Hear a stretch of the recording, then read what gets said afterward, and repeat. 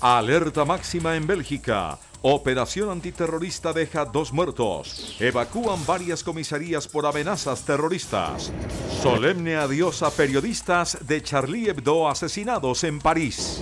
Papa Francisco afirma que no se puede insultar la fe de los demás. Maduro se reúne con Putin y afirma que consiguió recursos para mantener en pie a Venezuela. Al tiempo, la crisis aumenta en el vecino país.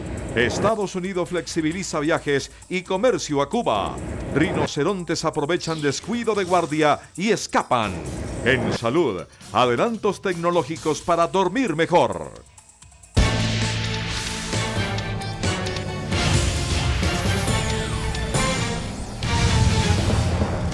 Buenas noches, bienvenidos a CMI Internacional. Las alarmas contra el terrorismo se dispararon en Bélgica, donde las autoridades abatieron hoy a dos presuntos yihadistas y arrestaron a uno más durante una serie de redadas antiterroristas en la localidad de Verbier, en el este del país. Según la Fiscalía, estas personas son miembros de una célula y estaban a punto de perpetrar ataques en algunas ciudades del país. El nivel de alerta fue elevado al máximo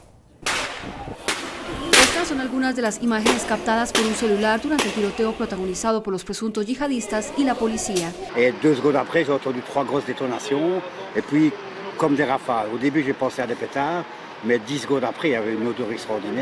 Durante la operación policial que tuvo lugar en la ciudad de Verviers, al este del país, dos de los atacantes murieron y un tercero que se encuentra ya bajo custodia de las autoridades resultó herido.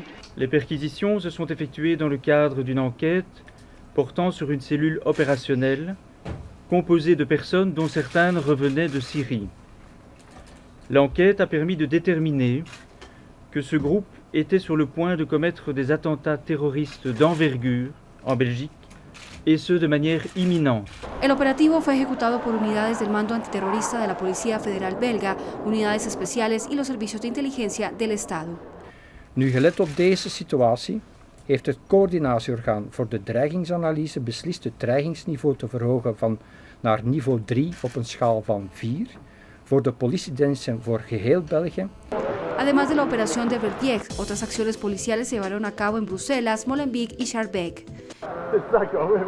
La acción policial de hoy es la mayor en este país desde 2008, cuando fueron detenidos en Bruselas 14 presuntos miembros de Al-Qaeda que planeaban un atentado suicida.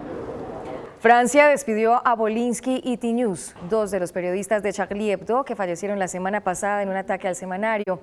En medio de homenajes, cientos de franceses les dieron el último adiós a dos de los hombres considerados genios de la caricatura francesa. Los aplausos reemplazaron a las lágrimas en la sentida despedida que amigos, familiares y admiradores le dieron al caricaturista de 58 años Bernard Berlac, más conocido como T-News.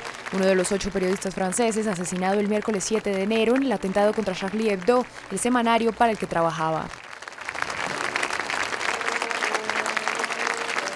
El homenaje fue realizado en el ayuntamiento de la localidad de Montreuil, a las afueras de París, y posteriormente sus restos fueron enterrados en el cementerio Père Lachaise de la capital francesa. Hoy mismo fue cremado el cuerpo del dibujante Georges Wolanski. El caricaturista de 80 años era originario de Túnez y era el más veterano de Charlie Hebdo. Là, je commence à comprendre qu'il est mort. Mais comme je l'ai déjà dit et je me répète, euh, ils ont tué un homme, mais pas ses idées. Donc, euh, donc voilà. On est là et on défendra encore et toujours les idées de Charlie Hebdo. De la misma forma, en el cementerio de Montparnasse fue sepultada la psicoanalista del periódico. Bah, Elsa, euh, voilà, c'était une fille euh, extraordinaire. Tous tous ceux qui l'ont approchée ont tombé en séduction immédiate tellement elle était euh, l'intelligence, l'humanité, l'humour et l'audace. Euh. Durante la jornada, en medio de un homenaje privado en la localidad de Chalon-Champagne, fue despedido el caricaturista Jean Cabou, mientras que el cuerpo de Stéphane Charbonnier, el director del semanario, será enterrado mañana en su natal Pontoise. Entre tanto, el gobierno de París decidió hoy darle la nacionalidad francesa a Lassana Bathily, un joven maliense musulmán que logró esconder a varios rehenes en el supermercado judío Hypercaché cuando se desarrollaba la toma del lugar por parte de Amédi Colvali. Bathily es considerado un héroe en Francia y la ceremonia de entrega de sus documentos será realizada el próximo martes. El presidente de Francia, François Hollande, reiteró que la actual guerra que se libra es contra el terrorismo y no contra alguna religión, en especial el Islam, y agregó que las principales víctimas del fanatismo son los propios musulmanes. L'islamisme radical s'est nourri de toutes les contradictions, de toutes les influences, de toutes les misères, de toutes les inégalités, de tous les conflits non réglés depuis trop longtemps. Et ce sont les musulmans qui sont les premières victimes du fanatisme, du fondamentalisme et de l'intolérance. Estas han sido las declaraciones del presidente de Francia, François Hollande, durante el discurso inaugural del Foro Internacional Reinvenciones del Mundo Árabe en el Instituto Árabe en París, en donde también rechazó comparar a los musulmanes con los extremistas. Que l'islam est compatible avec la démocratie, que nous devons refuser les amalgames et les confusions. Et d'abord en France, les Français de confession musulmane ont les mêmes droits, les mêmes devoirs que tous les citoyens. El mandatario espera que los ataques ocurridos en París la semana pasada no frenen el intercambio cultural y económico con el mundo árabe. A las afueras del instituto estaba inscrita la leyenda Todos somos Charlie. Y seguimos en Francia porque en los últimos días el país ha sufrido 19.000 ciberataques. Según el ejército galo, se trata de una cifra sin precedentes y algunos de los autores son grupos islamistas. Los objetivos han sido lugares tan distintos como instalaciones militares y pizzerías y no hay reportes de daños serios. Las autoridades aseguraron que estos ataques serían una represalia a las continuas manifestaciones en contra del terrorismo yihadista que desde el miércoles se suceden en todo el planeta. Y el Papa Francisco condenó nuevamente los ataques perpetrados la semana pasada al semanario satírico francés Charlie Hebdo y agregó que la libertad de expresión tiene un límite, pues no se puede ofender la fe y mucho menos la religión. A bordo del avión que lo llevaba de Sri Lanka hacia Filipinas y ocho días después del atentado contra las instalaciones del semanario Charlie Hebdo en París, el Papa Francisco aseguró que si bien la libertad de expresión es un derecho fundamental, tiene un límite. Y para hacerlo más comprensible, el Papa usó un ejemplo con uno de sus colaboradores más cercanos. Vero que no se puede reagir violentamente, ma si el doctor Gasparri, grande amigo, mi dice una parolaccia contro la mia mamma, ma gli aspetta un pugno. Ma è normale, non si può provocare, non si può insultare la fede degli altri, non si può prendere in giro la fede. Tanta gente che sparla le altre religioni o le, o le religioni, le prende in giro, ma diciamo giocattolizza la religione degli altri questi provocano e può accadere quello che accadrebbe al dottor Gasparri se dice qualcosa contro mia mamma. No? So, c'è un limite. Ogni religione ha dignità. Religione che rispetta la vita. El Papa también fue preguntado por su seguridad y si temía algún atentado. A me preoccupa, no? preoccupa abbastanza. Ho paura, ma lei sa che io ho un difetto, una, una bella dose di incoscienza. Sono queste cose. Alcune volte ho fatto la domanda, ma a me se accadesse questo, ho detto al Signore, ma Signore, soltanto ti chiedo una grazia, che non mi faccia male, perché non sono coraggioso davanti al dolore. El Papa se refirió de igual manera al cambio climático, señalando que el hombre es el principal responsable y espera que en la conferencia de París de este año se adopte una postura valiente para proteger al medio ambiente. Horas después, como parte de su gira por Asia, el Papa Francisco aterrizó en Filipinas. Miles de personas se congregaron para recibir al pontífice que permanecerá en el país más católico de dicho continente hasta el próximo lunes. El Papa Francisco llegó a suelo filipino donde fue recibido por una eufórica multitud.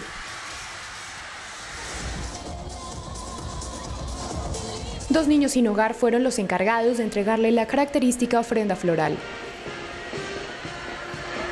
Posteriormente, en el Papamóvil, Francisco pudo saludar a las decenas de miles de personas que salieron a las calles de Manila, la capital del país, para darle la bienvenida en esta visita que hace parte de su séptimo viaje internacional. El gobierno filipino declaró festivos todos los días que dura la estancia papal. La agenda del pontífice comprende permanecer en Manila hasta el viernes y luego desplazarse hasta la provincia de Leyte, donde se reunirá con sobrevivientes del tifón Haiyan. Malaki po ang maibibigay niya sa amin dahil sa masilayan man lang siya, ginhawa na po ang buhay namin. 50.000 agentes han sido desplegados para garantizar la seguridad del Papa en el país asiático que cuenta con 1.2 millones de fieles, la mayor comunidad católica de ese continente. Hacemos una pausa en la información internacional. Ya regresamos. El presidente de Venezuela, Nicolás Maduro, calificó de positiva su gira internacional que terminó hoy en Moscú, en Rusia. Según el mandatario, pudo cumplir con el objetivo de obtener financiación para mantener en pie a Venezuela.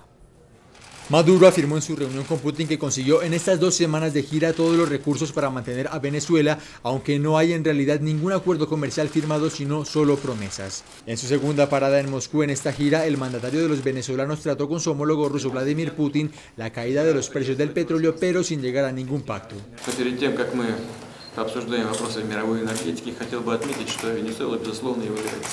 не просто нашим другом, а очень близким партнером, одним из ведущих партнеров Латинской Ambos países reafirmaron así sus lazos en un momento muy complicado para sus economías, que ven cómo el abaratamiento de los precios del crudo está afectando seriamente su comercio. a ratificar toda nuestra solidaridad, todo nuestro apoyo al pueblo ruso y toda nuestra confianza en su capacidad de trabajo y sabiendo que van a saber salir adelante de estas circunstancias. Maduro debería haber llegado hoy a Venezuela para dar su informe de gestión. Sin embargo, esto se tuvo que aplazar hasta la próxima semana y fue el vicepresidente Jorge Arreaza el que entregó al Parlamento el informe. El presidente incumple así con una fecha establecida por la Constitución, algo que ha defendido el oficialismo basándose en la importancia de la reunión con Putin y desmintiendo fracturas en el gobierno. Todo esto está marcado en la Constitución de la República Bolivariana de Venezuela, dándole estricto cumplimiento. Andan ya algunos desaforados por allí, eh, imaginando y diciendo cosas, siempre la realidad se impone. Mientras tanto, en las calles del país continúan las grandes colas en los supermercados y entre los ciudadanos hay opiniones encontradas por la decisión de algunas tiendas de establecer un pico y placa para poder entrar a comprar en base al número de la cédula. Obviamente no puedo venir cuando me corresponde. Yo tengo, yo tengo obligaciones y no puedo limitar mis obligaciones por buscar comida. Me parece excelente porque así la gente no se aprovecha de venir de hasta 10 personas a comprar para después revender. Además de esta situación, Venezuela se encuentra en recesión desde junio con una inflación de más del 60% y a falta de un mes para que se cumpla un año del encarcelamiento del líder opositor Leopoldo López. Dentro de tres horas, Estados Unidos va a levantar una serie de restricciones de viajes y comercio con Cuba vigentes desde hace décadas. Así lo anunció Washington, que afianza más su compromiso de restablecer las relaciones diplomáticas con La Habana. El Departamento de Comercio y el Tesoro de Estados Unidos son los encargados de levantar estas históricas prohibiciones. En lo que se refiere a los viajes, a partir de este viernes será posible volar desde Estados Unidos hacia Cuba sin necesidad de permiso siempre y cuando sea por motivos familiares, de trabajo, entre otros, cumpliendo una serie de requisitos. Desde ahora los estadounidenses no tendrán límite de gasto en la isla y podrán usar tarjetas de débito y crédito. Las aerolíneas y agencias de viaje podrán volar a Cuba sin licencia y se permite traer bienes por valor de 400 dólares por persona con un máximo de 100 para tabaco y alcohol. En materia de comercio se permiten ahora enviar remesas a Cuba por valor de 2 mil dólares máximo cada trimestre, una cifra muy superior a los 500 que se pueden enviar hoy en día. Además, las empresas estadounidenses podrán exportar sin licencia artículos como computadores, televisores o teléfonos celulares. Se da luz verde también a la venta de seguros a personas que vivan en la isla, así como la apertura de cuentas bancarias en Cuba, la inversión en pequeñas empresas y el envío de material de construcción. Para algunos ciudadanos, todo lo que fomente la llegada de extranjeros a Cuba es positivo. Estas medidas ayudan lo que es la economía del país, ¿no? Eh, ahorra dinero al país de forma general. Pensamos que entre más norteamericanos puedan venir o más clientes podamos atender, independientemente del país que sea, siempre es bueno para la economía del país, para nuestra propia actividad.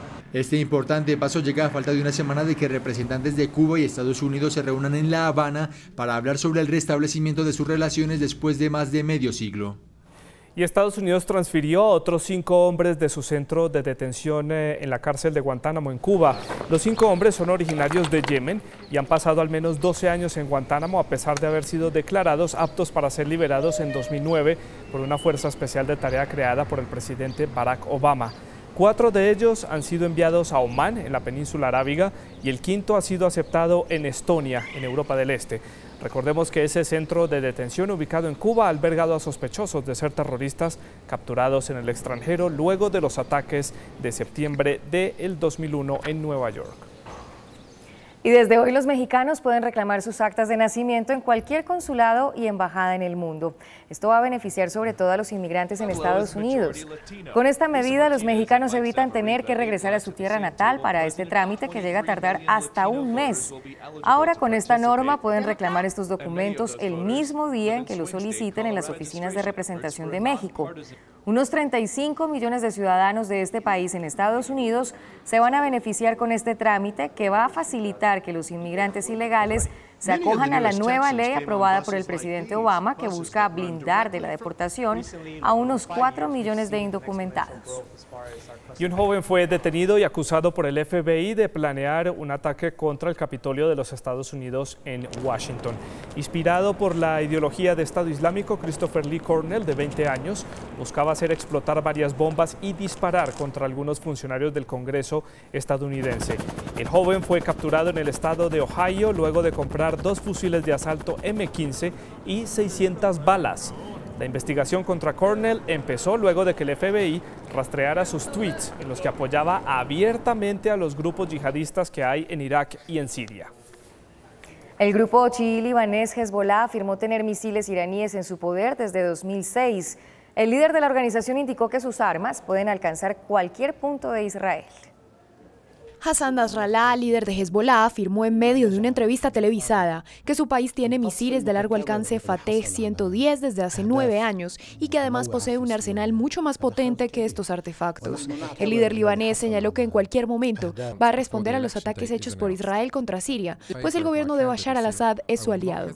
يعني هذا الامر مفتوح ما حدا عنده التزام ولذلك انا حكيت بالجزء الاول ما حدا عنده التزام أن الاعتداءات على سوريا قد تبقى بدون رد De la misma forma, Nasrallah hizo una clara advertencia a Israel señalando que su capacidad armamentista es mucho mayor que lo que se piensa. إذا الإسرائيلي عم يعمل حساباته على أن المقاومة أصابها وهن أو ضعف أو أنها مستنزفة أو أنه تم المس El líder chií aseguró que cualquier violación o agresión de parte de Israel es una línea roja y que es derecho legítimo de Hezbollah responder en el momento que elija. Y fue encontrado el cuerpo de Hervé Gourdel, el rehén francés que fue decapitado en septiembre pasado por una filial del autoproclamado Estado Islámico en Argelia, en el norte de África. De acuerdo con el ejército, los restos del guía de montaña fueron enterrados y no se encontró la cabeza. El cuerpo fue exhumado en presencia de un juez de instrucción y del fiscal encargado de esta investigación y posteriormente fue trasladado a Argel, la capital del país, donde luego será llevado a Francia. Amnistía Internacional reveló una serie de imágenes satelitales con las que denuncia una masacre del grupo islamista Boko Haram al norte de Nigeria. La ONG publicó varias fotos del 2 y el 7 de enero de los pueblos de Baga y Doro Gowon. En las imágenes se nota el contraste entre las dos fechas y se aprecia la destrucción que quedó en la zona con territorios prácticamente desolados. Según Amnistía, el grupo terrorista mató a 2.000 personas en esta región, aunque el gobierno afirma que fueron 150 los fallecidos. Actualmente Boko Haram tiene secuestradas a más de 200 niñas desde abril. El Ejecutivo nigeriano llegó a anunciar una tregua con esta milicia, al igual que una liberación de las menores, pero ninguna de las dos cosas se ha cumplido.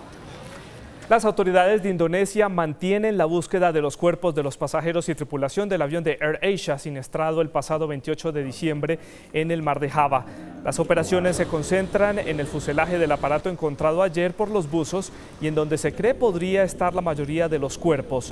El vuelo Quebec Sul 8501 perdió contacto al parecer con por el mal clima en la zona a los 40 minutos de haber despegado de Surabaya, en Indonesia, con destino a Singapur. Actualmente las cajas negras siguen siendo examinadas en Yakarta, la capital de Indonesia, para hallar las verdaderas causas de este accidente aéreo. Al menos 50 muertos y más de 70.000 evacuados dejan las graves inundaciones en Malawi, en el sureste de África. Las intensas lluvias que comenzaron el pasado fin de semana han provocado numerosos destrozos en varias viviendas, así como el derribo de torres eléctricas, por lo que gran parte del país sufre cortes de electricidad. La crítica situación ha obligado al presidente Mutarika a declarar el país como zona de catástrofe y pedir ayuda a la comunidad internacional para hacer frente a la tragedia, la peor desde 1997. Helicópteros del ejército han sido desplegados para rescatar a las decenas de personas cuyas casas han sido afectadas por el agua. Dos estadounidenses consiguieron por primera vez escalar en una sola expedición la montaña del Capitán, considerada como la más difícil del mundo. Hoy dieron detalles de esta histórica hazaña. Tommy Caldwell de azul y Kevin Jorson de amarillo son las primeras personas que suben los 900 metros de la montaña de granito del capitán solo con sus manos desnudas. No utilizaron herramientas para escalar y se bastaron únicamente de la cuerda de seguridad. Este miércoles terminaron su hazaña y hoy hablaron por primera vez a los medios. Tommy, de 36 años, afirmó que su relación con esta roca es bastante especial y viene de mucho tiempo atrás. I mean, like I said, it's provided me with, I think, nearly 17 or 18 years. Um, when I was three years old, I used to come and sit in El Cap Meadow and watch my dad up there. And it's been a, a big centerpiece of my life. Kevin, de 30 años, revivió los últimos momentos antes de por fin llegar a la cima de la montaña después de 19 días de escalada. You could literally feel all the, the hope and desire and stress just like drip off of you and you're just hanging there in silence and relief and joy and it's like the coolest feeling. Los medios estadounidenses estuvieron muy pendientes de esta subida siguiendo día a día la hazaña. Dormían en tiendas colgantes y se levantaban al amanecer para subir poco a poco esta pared casi lisa. Según Tommy, hubiera sido muy difícil realizar esta escalada solo. I think that the, uh, the camaraderie that we had was crucial. I tried to do it one year without Kevin actually.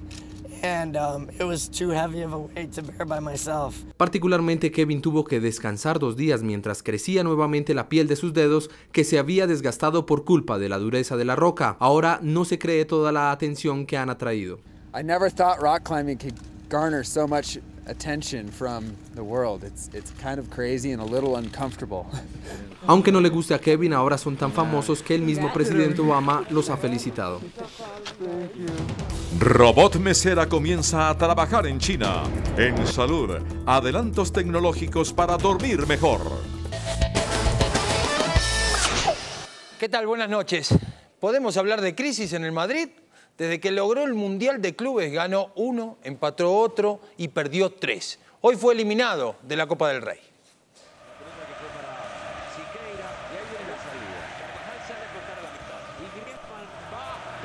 Ahí vemos el partido, se equivocaba Pepe, el que desborda es Griezmann, el que le queda es el niño Torres.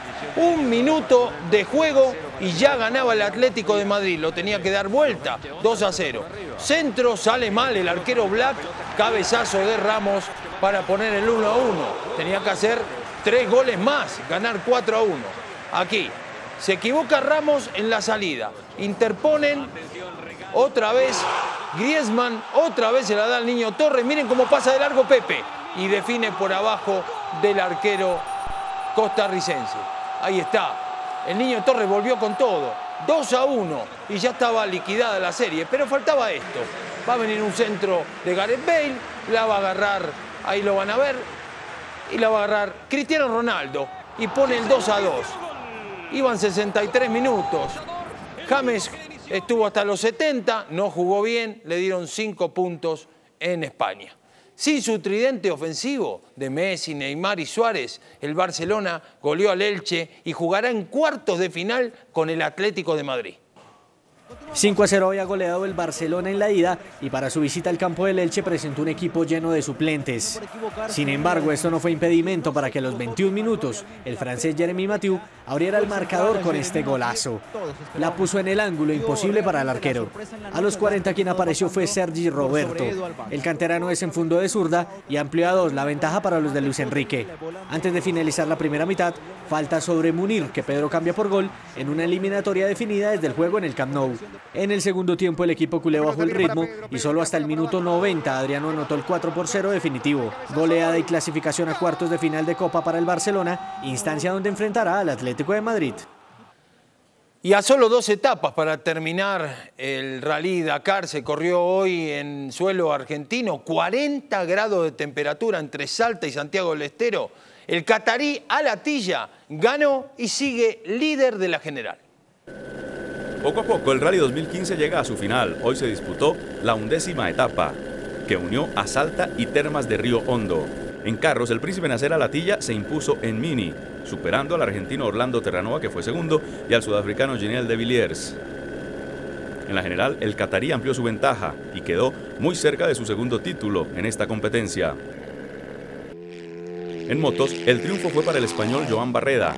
Sumó su cuarta victoria en el Rally 2015.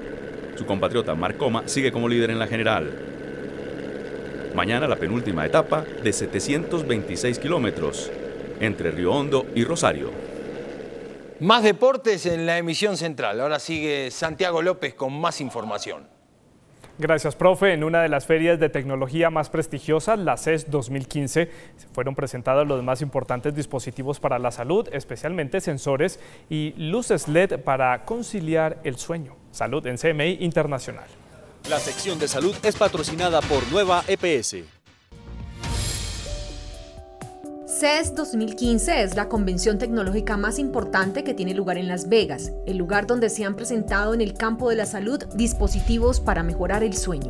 Desde pulseras que miden la presión arterial, el número de calorías que se queman, hasta cuántas horas se ha dormido en tiempo real. La empresa francesa Holly ha presentado un mecanismo para la inducción del sueño a través de una luz LED programable.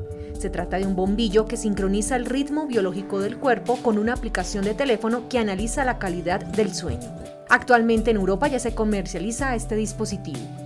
Por otro lado, la empresa francesa Withings, también con la combinación de luz y sonido, presenta unos sensores que colocados en el colchón miden la actividad cardíaca y los ciclos de sueño y respiración.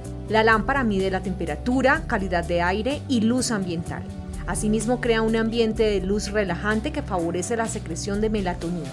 El despertar se ajusta al ciclo del sueño que con la luz LED simula el amanecer.